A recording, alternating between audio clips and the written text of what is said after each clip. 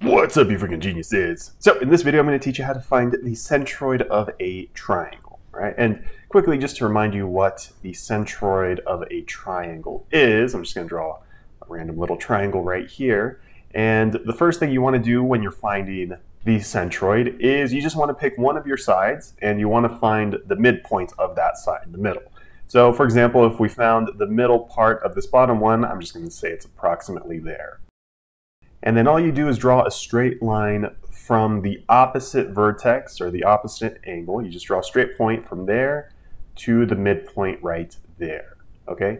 And then the last thing you have to do is just move two thirds of the way down this line. Okay? So you start at the vertex, at the angle, and then you move down two thirds of the way to the midpoint. Okay? So we'll say that two thirds of the way is maybe about here-ish. All right? So for example, if this whole length right here was 12, that means this longer side would be 8 and this shorter side would be 4.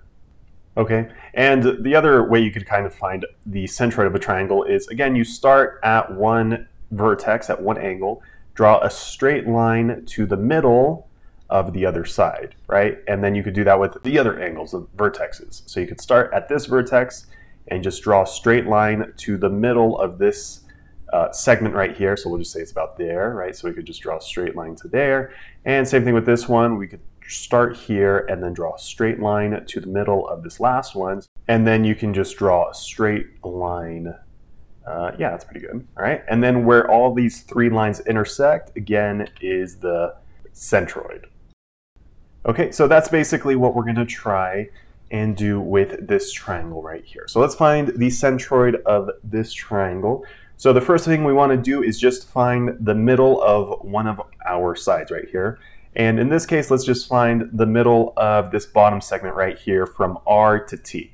Okay, and the way that we're going to do that is just by using the midpoint formula. So the midpoint is going to be equal to x of 1 plus x of 2 divided by 2, and then our y coordinate is y of 1 plus y of 2 divided by 2, right? So then the midpoint here uh, let's see, let's say r is x of 1 and y of 1, and t is x of 2, y of 2. Okay, so then the midpoint is going to be equal to, let's see, 2 plus 8 divided by 2, and y is going to be 1 plus 3 divided by 2. So then here we're going to get, let's see, 2 plus 8 is 10, 10 divided by 2 is 5, and 1 plus 3 is 4, 4 divided by 2 is 2. Okay, so the midpoint between these two points is at 5 comma 2, right? So at 5, 2 right here, right? This is the midpoint of this side. So then the next thing we have to do is just draw a straight line from the opposite vertex down to the midpoint, right? So we're going to draw a straight line. Uh, yeah, that's pretty good right there. Okay, then the next thing we have to do is just move two thirds of the way down this line to find the centroid, right? But to find the exact point, we're going to have to use the distance formula, right? Because first we need to find the distance from this point from S to this point down here, M, right? We got to find that distance. Okay, and the distance formula is the square root of x of 2 minus x of 1 squared plus y of 2 minus y of 1 squared. Okay, so let's label the x of 2, x of 1, y of 2, y of 1. So again, we're finding the distance from S to M, so we can say that S in this case, uh, let's say S is x of 1 and y of 1, and then we can say that our midpoint right here, which again was 5 comma 2, we'll say that this is x of 2, y of 2. So then here the distance is going to be equal to the square root of 5 minus 5 squared plus y of 2, let's see, that's 2 minus 8 squared. So the distance is equal to the square root of 5 minus 5, that's just 0, right? So 0 squared just goes to 0. And then here we're left with 2 minus 8 squared. So 2 minus 8 is equal to negative 6. So we get negative 6 squared. And uh, let's clean that up a little bit. So then this is equal to, well, negative 6 squared, that's equal to 36, right? So then we end up with the square root of 36, which is equal to just 6.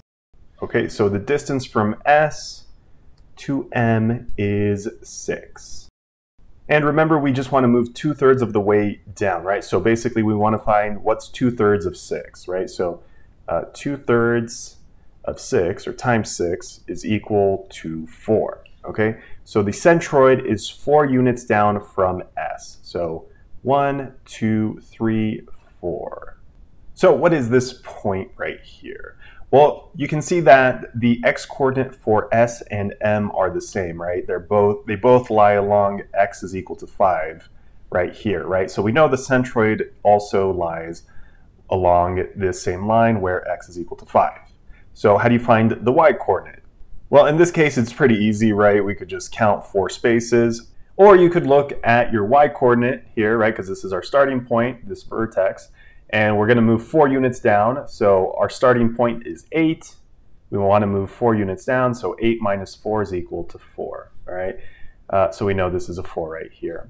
And to confirm that, we could obviously just look at the graph, so we can move over 5 and up 4, right? So we still get the exact same point. So if you found the video helpful, definitely leave a thumbs up down below. And if you have any other questions or want to see any other examples, just let me know in the comment section below.